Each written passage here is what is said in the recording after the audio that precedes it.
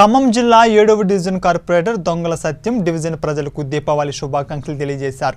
రానున్న రోజుల్లో తెలంగాణ రాష్ట్రంలో బీజేపీ ప్రభుత్వం ఏర్పడుతుందని హుజూరాబాద్లో నిన్న జరిగిన ఎలక్షన్లో బీజేపీ పార్టీకి ప్రజలు అనుకూలమైన మెజార్టీతో తీర్పిచ్చారని దాని ఫలితంగా బీజేపీ అభ్యర్థి ఈటెల రాజేందర్ మంచి మెజారిటీతో గెలిచారని గెలుపు కోసం కేంద్ర మంత్రులు కిషన్ రెడ్డి రాష్ట్ర బీజేపీ అధ్యక్షుడు బండి సంజయ్ చాలా కష్టపడ్డారని తెలిపారు.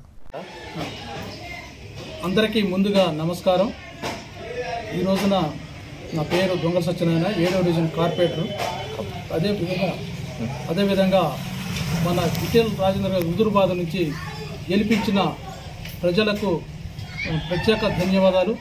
ఎందుకంటే విఠల్ గారు ఎంతో ఉత్కటంగా ఎంతో ఉత్కటంగా మా ఎలక్షన్లలో నిలబడటం కూడా చాలా ధైర్యం చేసి నిలబడి ఉత్కంఠ భరితలు కూడా ప్రజలు వెనుకుండి ఆయనకి మనోధైర్యం ఇచ్చి మీ ఉన్నామని చెప్పి ధైర్యంగా విఠల గారికి అండదండలు పొంది ఆయన గెలిపించినందుకు ప్రత్యేక ధన్యవాదాలు తెలియజేస్తూ దీపావళి శుభాకాంక్షలు అందరికీ తెలియజేస్తూ ఈ రోజున దుబాక్ కానీ దుబాక కానుంచి అప్పుడు టీఆర్ఎస్ పతనం కావడానికి కారణం దుబాక లేపింది. తర్వాత జిహెచ్ఎంసీ ఎలక్షన్లు కానీ ఆ నుంచి తర్వాత ఇవాళ హుజురాబాద్ కూడా ఇవాళ ప్రజలు ఉత్సాహంగా ఎంతో మందిని ఉత్సాహంగా గెలిపించి మహిళలు కానీ యువకులు కానీ ఎంతో ముందుగా ఉన్నాం మీ ఉన్నాం బీజేపీకి మీ అండ ఉండం అని మీ ఎదురంగా వచ్చి వాళ్ళు చెప్పటం కూడా నేను దుబాకకు అప్పుడు హుజూర్బాద్ ఎలక్షన్లు కూడా వెళ్ళటం జరిగింది.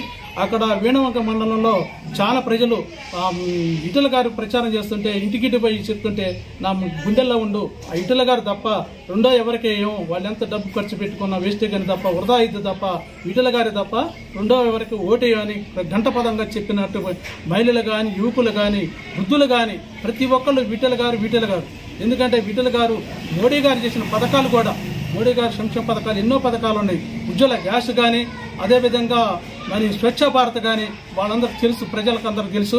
ఎంతో ఉన్నాయి కాబట్టి ఈ పథకాల నుంచి కూడా మోడీ గారిని చూసి కూడా మరి అదేవిధంగా బండి సంజయ్ గారు కూడా బండి సంజయ్ నుంచి కూడా యువకులు ఎంతో ఉత్సాహం ఉండి బండి సంజయ్ గారు అంటుంటాం అదేవిధంగా ఈ యువక రఘునందరా గురించి రఘునందరా కూడా ఎంతో కష్టపడ్డారు దాంట్లో కూడా మరి హుజూరుబాద్లో ఎంతోమంది కష్టపడి ఈ రోజున వికేంద్రరాజు గారికి అండదండగా నిలబడి గెలిపించిన ప్రజలందరికీ పేరు పేరున హృదయపూర్వక అభినందన